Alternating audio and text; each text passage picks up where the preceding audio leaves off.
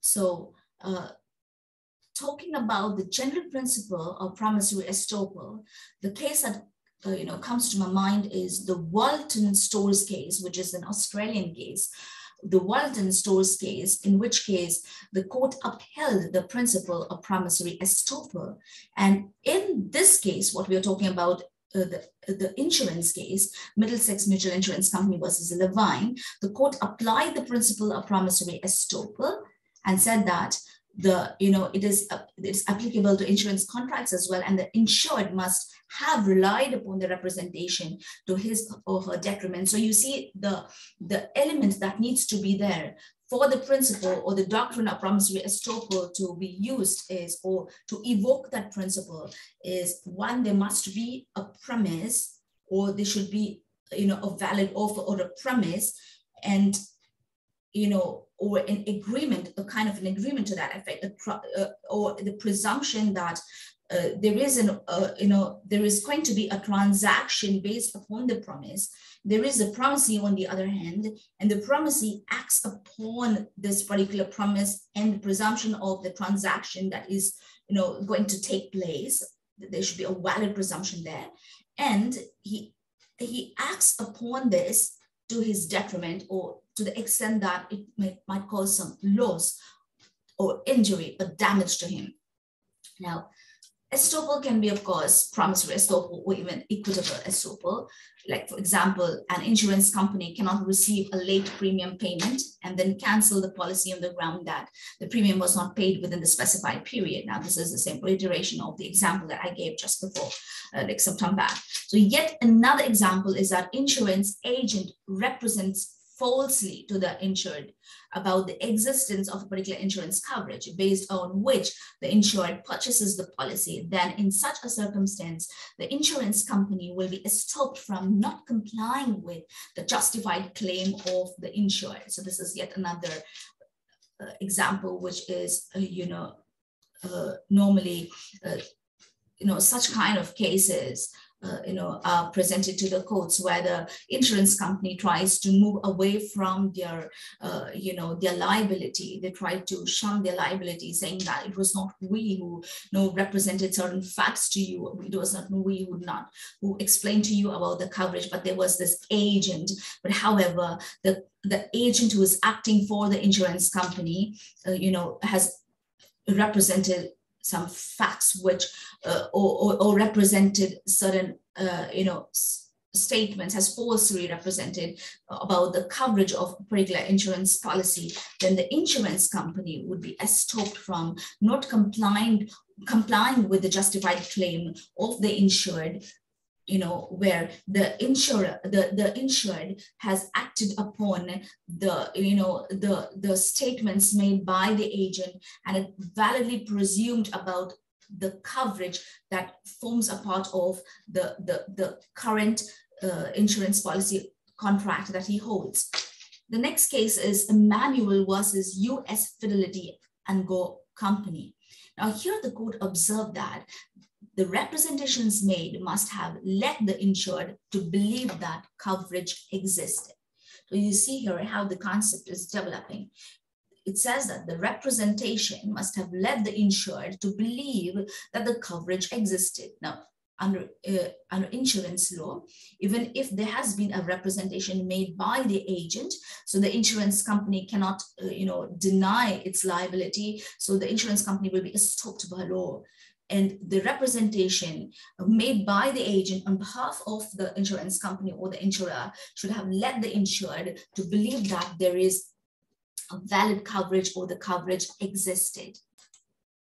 Now, in a US case, professional underwriters insurance company versus Freitas and Sons Corporation, here the court held that there can be no estoppel when insured has never ever even uh, you know inquired about coverage and could not meet the threshold requirement of promise or representation.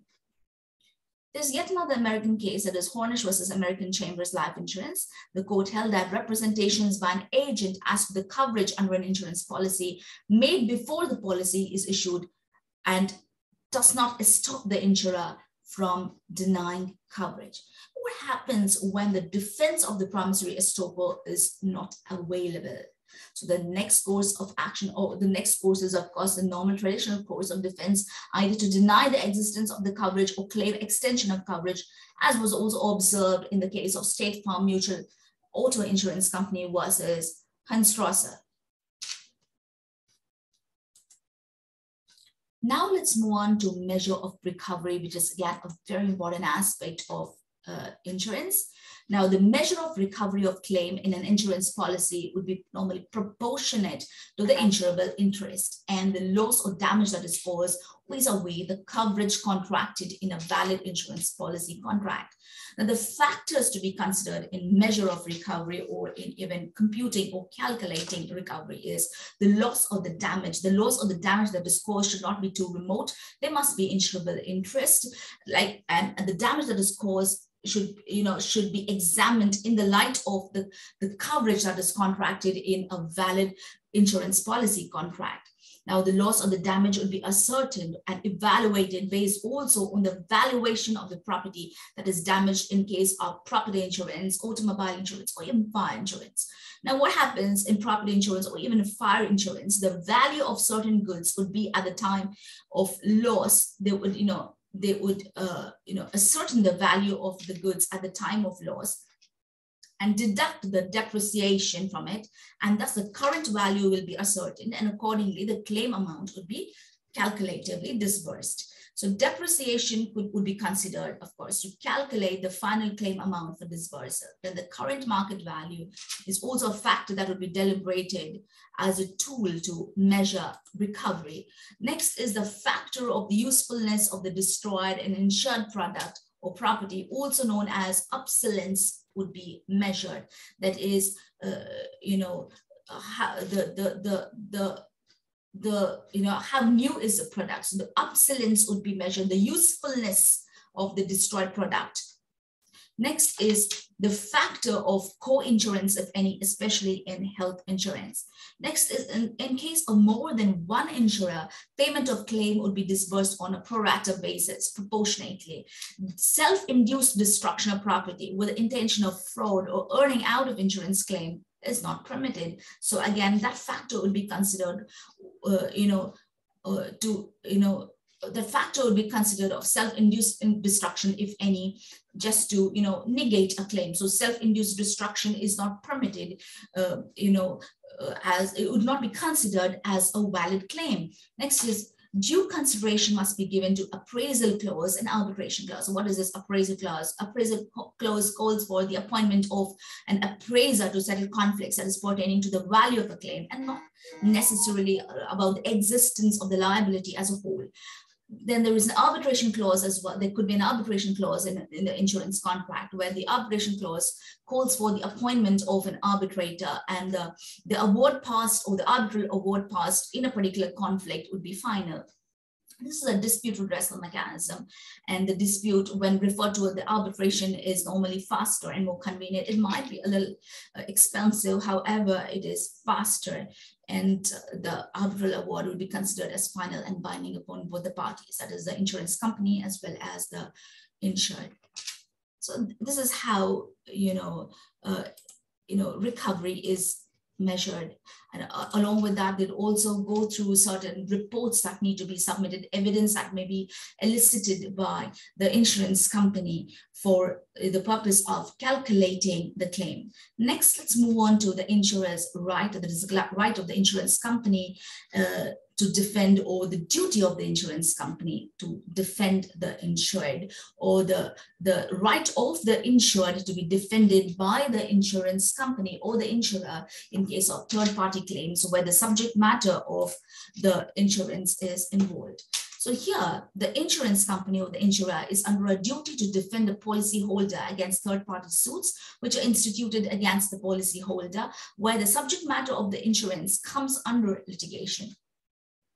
Here, the question is not about what and who is right or wrong. Invariably, when the insured or the policyholder faces a legal battle opposed the subject matter covered under a valid insurance policy, the insurer is customarily obligated to defend the insured.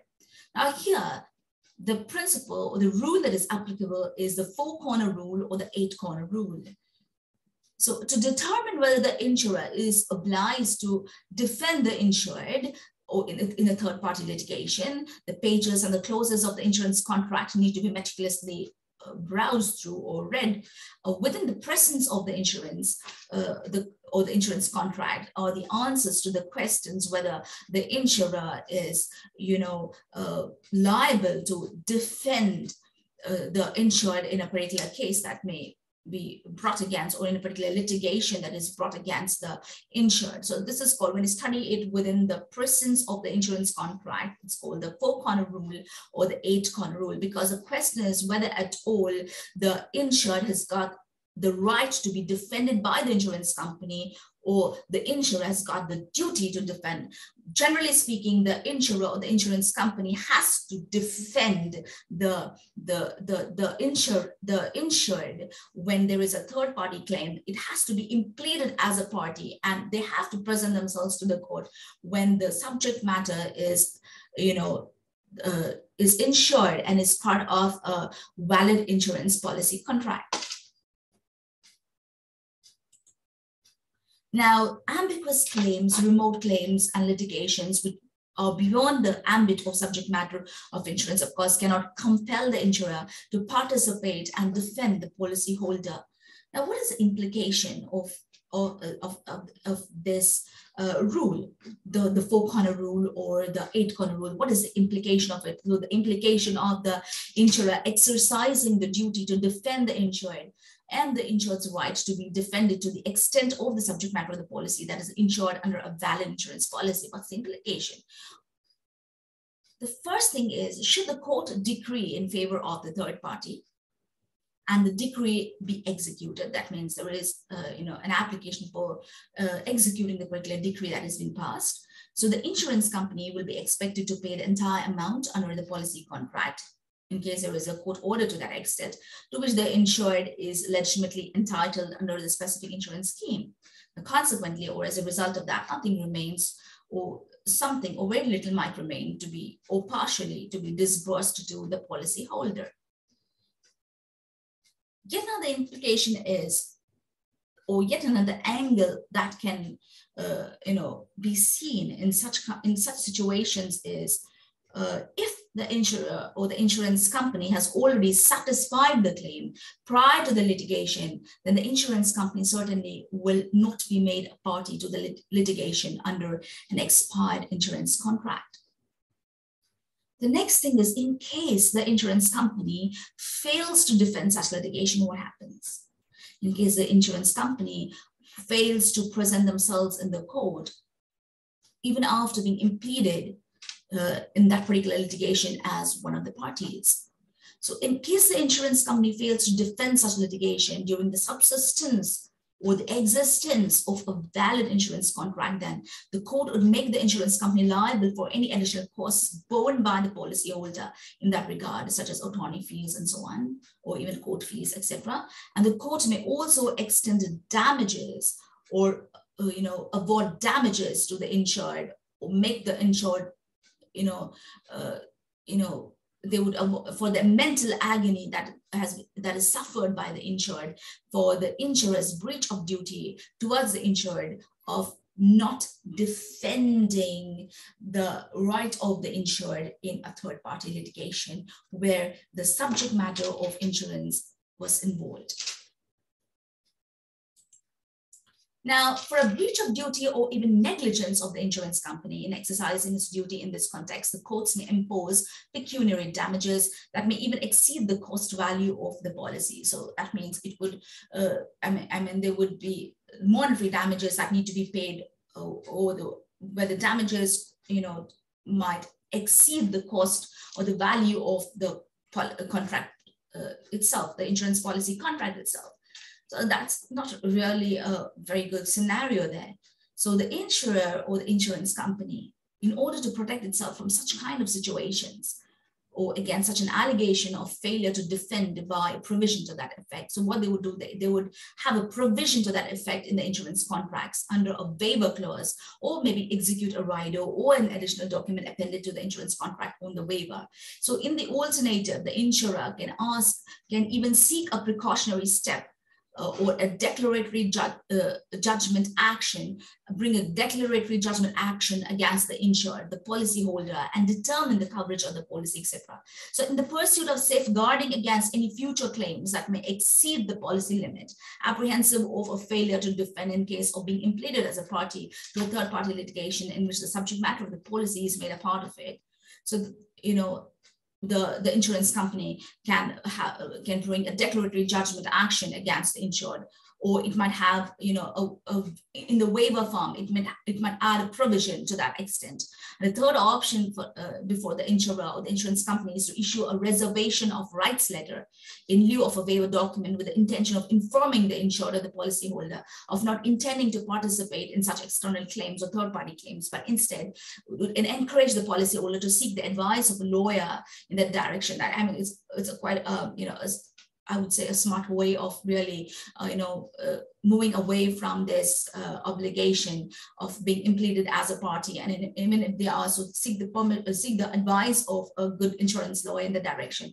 And, uh, you know, and, uh, you know, should such a situation or need arise. So these are some of the ways basically three ways how an insurance company or the insurer can protect itself against you know such an allegation of failure to defend. So they could have a provision reiterating they could have a provision uh, in the insurance contract. It could be it could be under a waiver document or a clause or a rider or they could bring a declar declaratory judgment action or they would just issue a reservation of rights letter. They would reserve the rights. So the next part of it is reinsurance. Now, reinsurance is a very, uh, again, interesting concept under, uh, you know, the business of insurance or even the laws of insurance. Insurance, of course, comes under the service sector. Also, I would say that under, you know, in the world of insurance or even under, you know, the insurance laws. What is reinsurance? I want you to just, uh, you know, apply your mind to it for some time and think about this. What is reinsurance? Of course, you know what is insurance and what is reinsurance. Wait a moment. So reinsurance is not to, you know, revise the insurance policy. Normally, when the question is asked, students tend to answer saying that it's a revision of insurance policy, or they would say insure, reinsure, reinsure it. So what is a reinsurance? So reinsurance is basically a, a reinsurance policy or a contract which is normally procured by insurance companies. So reinsurance is a policy that is sought by the insurer and not the insured. I'm repeating, it is a policy that is sought by the insurer and not the insured. So reinsurance is what it is. It is a provision or a policy that is open to the insurance companies who are normally insurers in a normal insurance contract with the insured. So here the parties in reinsurance are, who are the parties here, is the reinsurer and the reinsured. The reinsured is also called as a ceded party or you know, the party who ceded. So here, there is a company, an insurance company who desires to you know, who enters into a ceding agreement, CED, I'm not talking about S here, you know, they would like to, uh, you know, share the risks because of the load of risks that they carry from different insureds or from, you know, which from different existing insurance policies. I mean, the load of risk gets too heavy for them to bear. For whom? For the insurance company.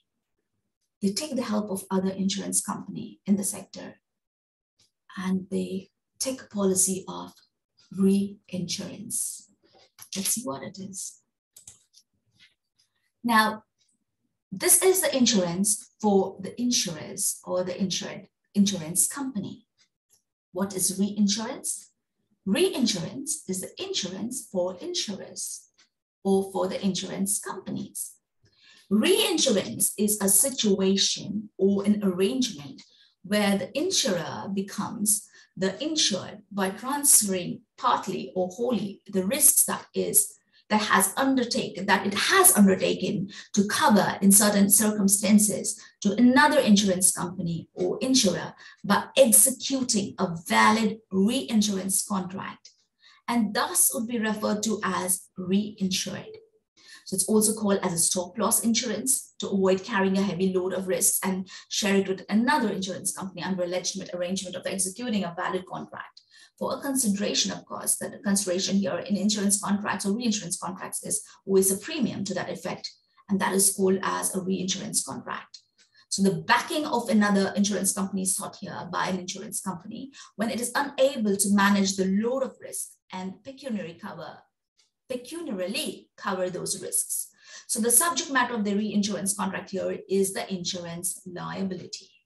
I'm repeating, this is important the subject matter of reinsurance contract here is insurance liability. In Union Central Life Insurance Company versus Lowe, the court held that it involves the principle of indemnity. Here, in insurance contracts, by and large, the principle of indemnity revolves around or is the essential factor in reinsurance contracts this concept is distinct from co-insurance, of course, or multiple insurances sought by the insured. So reinsurance should not be confused with, you know, with co-insurance or multiple insurances sought by the insured.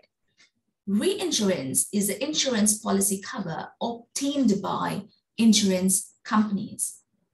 Now, in Beth K. Wasser's Cosmopolitan Life Insurance Company, the court observed that reinsurance is a contract which one insurer makes with another to protect the first insurer from the risk that is already assumed. By whom? By, by whom? By the other insurer. So in this case, it's of course an insurance company. The company getting the risk reinsured here is called a ceding company. Note the, the, the spelling there, ceding company, C-E-D-I-N-G the ceding company, the company that gets is the insurance company rather, getting the risk reinsured, the risk or the load, the burden that is carrying through valid insurance contracts with the other insured within the company. So to share the risk, you know, it gets into the contract of reinsurance with a reinsurer. So the person or the, the, the, the, the insurance company which, uh, you know, tries to get, get its risk insured in a valid reinsurance contract is called a ceding company. And the amount of risk retained by the ceding company is called retention. Because what happens? Sometimes they would, you know, partially cede the risk or partially share the risk. Or sometimes this, it's possible that they would really share the risk entirely. So suppose there is a partial sharing of risk, the amount of risk that is retained by the ceding company is called retention. Now the amount of value reinsured is called cession. I'm repeating, the amount or the value reinsured under a valid reinsurance contract is called cession. Now, the reinsurance company may further want to reinsure the risks that it has contracted to reinsure, and that is called retrocession. You see here? Now, see now there is company A and it, it is an insurance company. It feels that it has, you know, overloaded itself with several insurance policies that it has actually, you know, contracted with different, uh, you know, uh, customers. So it feels a risk heavy. So it takes the help of another insurance company and it, you know, seeks a reinsurance for sharing the risk along with it. So this company A is called a ceding company. Okay. Now this company A, the ceding company, the amount that it seeks to reinsure, that amount is called cession. Okay. It might happen that there is this, you know, company B who's a reinsurer between A and B for the risks of A. It might also go ahead further and get its risks insured to another company, C. So this company or this process is called retrocession. Now, C has nothing to do with A. C has something to do with B under the contract of retrocession. B has got something to do with A under the contract of reassurance. Okay.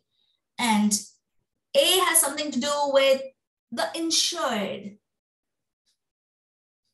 So A is, uh, you wouldn't call it, uh, you know, as, um, uh, you can call them even as the reinsured, or they're actually called as the ceding company.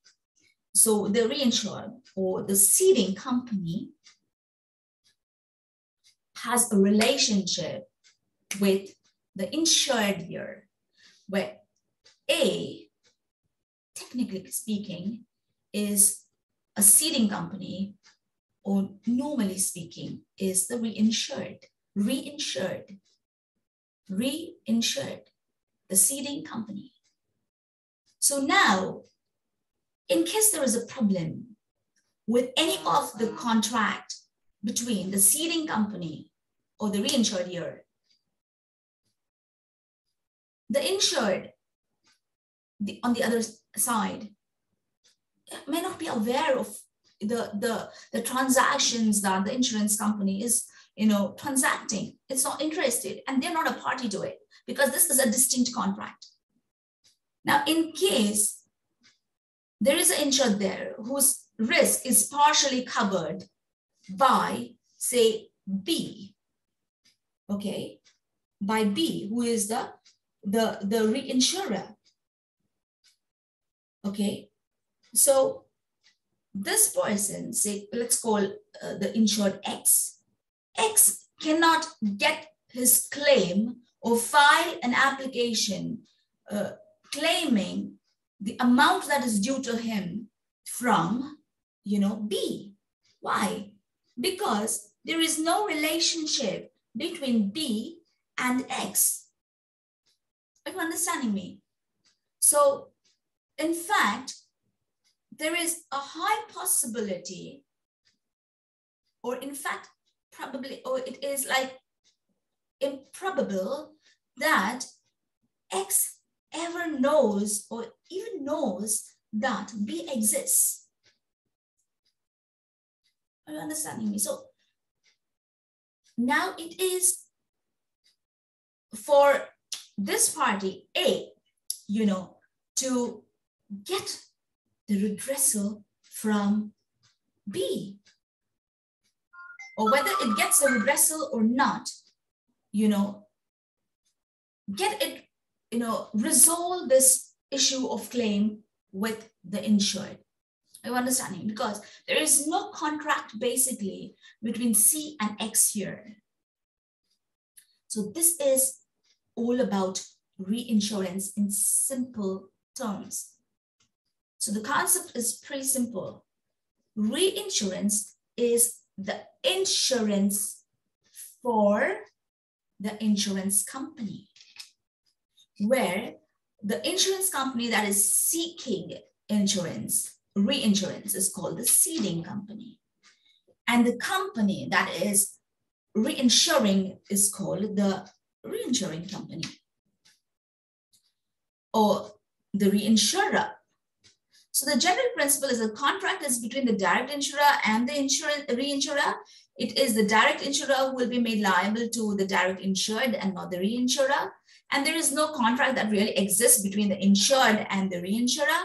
The contract here is between the reinsurer and the reinsured or the ceding company here. So thereby the benefit of reinsurance that comes to the fore is the risk that is uh, you know, contracted to be transferred. So the, the benefit of reinsurance that comes to the fore is the risk is, you know, that is contracted to be transferred is basically, you know, shared and it is, you know, really spread and it lightens the burden of ceding companies or ceding insurance companies or the re the reinsureds. I mean, just you know, generally speaking, but technical parlance, the insurance parlance, they are called as ceding companies. So broadly, reinsurance can be dichotomized as treaty insurance. I mean, there are two categories, treaty insurance and facultative reinsurance. But this dichotomy basically helps us to understand the method used to cover the risk, whether it's proportional or non-proportional. Now, treaty insurance is a pre-arranged agreement whereby the direct insurer cedes and the reinsurers accept cessions with predetermined limit insurance. It is mandatory to accept risks under this method. Thereby, there is a treaty or an agreement drawn between two or more insurance companies here, whereby one agrees to cede its risk, that is a direct insurer, and the other company or the companies, that is the reinsurers, agree to accept reinsurance as per the conditions that are specified in a particular treaty or an agreement between them. So there are different types of treaty reinsurance. However, the most common forms are QS or quota share. It's also called as proportional sharing that is a particular proportion is ceded, that is where the reinsurers take a specific share or proportion of risk or the obligation to uh, you know, pay claims in each policy, which is directly proportional to the premium of reinsurance, where the risk is shared between two insurance companies uh, under the scheme of reinsurance. So original risk is sought to be shared here. Next is the surplus excess of loss. It's also abbreviated as SOS, uh, surplus excess of loss. SOL. Here, direct insurer, no, I'm not talking about SEOL, I'm talking about SOL. Here, direct insurer reinsures only the surplus amount and its re retention, and the reinsurers are inclined to accept such cessions. I'm talking about CESSION. Next is excess of loss ratio or XOL or stop loss. Here there is a nexus that is drawn or the relationship is examined between gross premium and gross claim over a year and based on which gross loss is determined that depending upon what is the gross premium, what is the gross claim, gross loss is determined and the ceding company will decide on the ratio of gross loss up to which it can sustain. Next is a combination strategy of QS and XOL. And next is pools, which are basically treaties between companies where members join hands to share premiums as well as claims. So this form is normally used to cover risks or insurance policy of hazardous businesses. Next is non-proportional. This is pretty simple. Here, the reinsurers, uh, here the reinsurer, Uh, the, the reinsureds are not proportionally liable for the loss. Likewise, premiums also are not proportionally shared with the reinsurers, which means the losses covered may be in excess of the value of the insurance cover. So the loss is reinsured in the non-proportional method.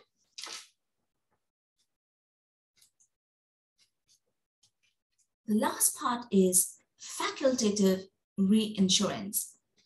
In facultative reinsurance, it's normally used in simple businesses and covers which are not really complex in nature, where risks are optionally reinsured, handled on a case-to-case -case basis, where the cedent, I told you what's cedent, who are cedents, where the cedent passes a single or a block risk on a one-off basis. I'm repeating this.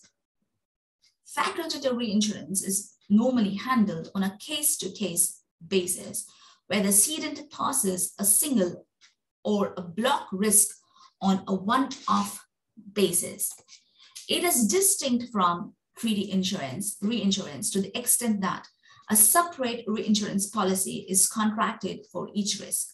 So this method is indubitably flexible, undoubtedly flexible, and tailored to meet the needs of reinsurance, and may be further classified into two, pro rata and excess of loss.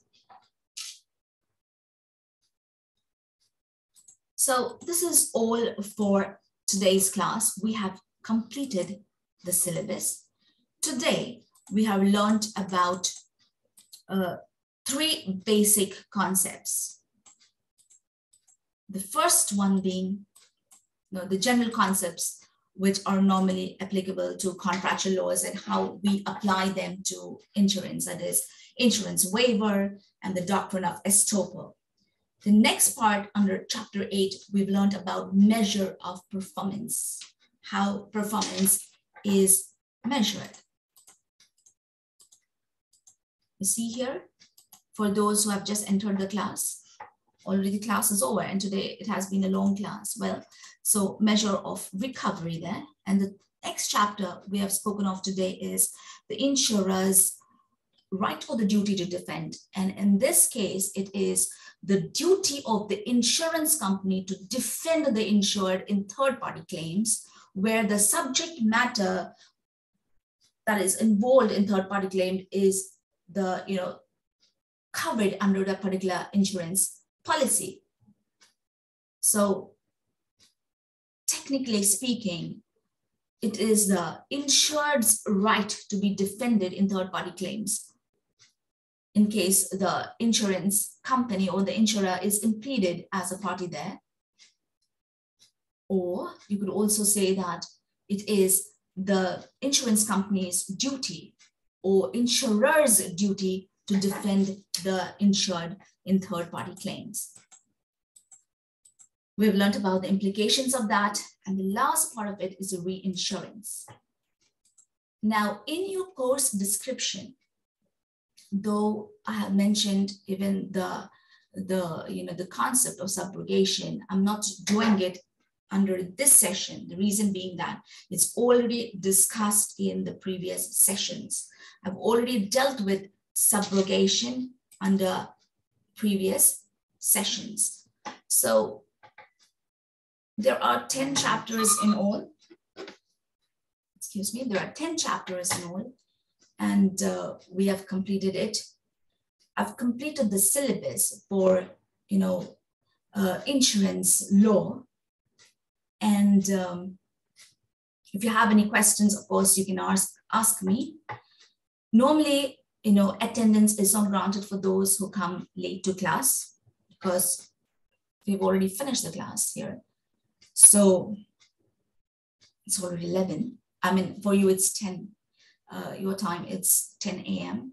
However, I will consider giving because this is the last class. So Abdir Rahman, could you just tell me your full name?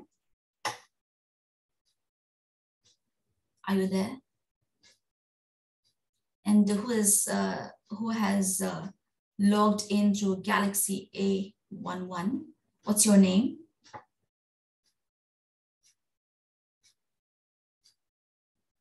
Can you hear me? Okay, never mind. So I, I, if I will not know who you are, so it will be difficult for me to grant attendance. It's not a problem. Uh, well, now talking about assignments, assignments must be submitted uh, within the deadline and anything that is submitted beyond the deadline, uh, you know, uh, it would be liable to a deduction of one mark. Now, I've already given you uh, the important questions, uh, you know, I've already uh, rather, uh, you know, given the question paper pattern. Now, talking about important questions. The question paper pattern, just before that, like before I go through that, the question paper pattern, of course, there'll be a question for, you know, 20 marks. And uh, again, of course, you have choice. You just have two choice, one choice there. Mm-hmm. And next would be the uh, write a long note on an elaborate note on again to carry five marks. And again, there's a choice there. Now, the important uh, questions for your exams, you have to know what is an insurance contract. You'll have to give me the definition of insurance contract. and the definition that you give me should be an elaborate one. You'll have to explain in detail what is, you know, the insurance contract and so on. This is one of, you know, the important questions. Normally in insurance law, of course, you know, insurance contracts, insurance contracts are normally a very important question. So it will be asked mostly, most of the times, like, you know, for examinations, it comes. And next, of course, in case such a question is asked, you'll have to write about the clauses that have to be there in insurance contracts and the principles are involved there. And you have to, you know, this being a, you know, a law subject and just not, you know, just only insurance, but it's also a law subject, insurance law. So you will have to uh, explain the, you know, uh, the case laws that are there, the relevant case laws. Apart from that, again, an important question would be like the process of filing claims. This is also an important question. Um, again, you know, certain concepts like uberrimae fidei and promissory estoppel, waiver, all these are important questions. Um, yeah, and of course, uh, since you're learning insurance law in the international perspective, again, this is very, very important question because I have taught you insurance law in the international perspective, where I made reference to different countries, like what is uh, like the law in USA, what's the law in UK, what's the law in India, what's the law in UAE, that is United Arab Emirates, what's the law in the Sultanate of Oman, in Spain, Germany. I've given you examples and uh, I've given you, you know, the overall view of all the, these countries and some more. So, I mean, I'll normally, you know, say that my students should understand the laws in the international perspective because, you know, you know, it's it's good to understand insurance laws in the uh, international perspective. And again, this is an important question again. So, well, all the best for your exams. We'll have another class next week. And uh, probably if you're there on time, we will have a quick revision or maybe I'll sort out some doubts. And we're done with our lectures. The lectures are posted in your Google Classroom. Go through the lectures. I've given you also, uh, you know, the points for studying and uh, the PPT also will be, is already uploaded online uh, except today's class. So today's class, you can expect it to be uploaded by the end of the day, maybe in an hour or by the end of the day. It depends. And of course, this video also will be uploaded. So all the best uh, for your exams. And if you have any questions, of course, you can ask me. But uh, uh now it's no point uh, for me to say that attendance carries marks because this is the last class. In the next class, we meet the same time. It is 8 a.m. your time. And if no one's available for the first 10 minutes or 15 minutes, so uh, I mean, I would presume that uh, you don't need a revision class. So if you need anything, uh, please be there for the next class. So with respect to the syllabus, we are done today. So thank you. Bye-bye and all the best.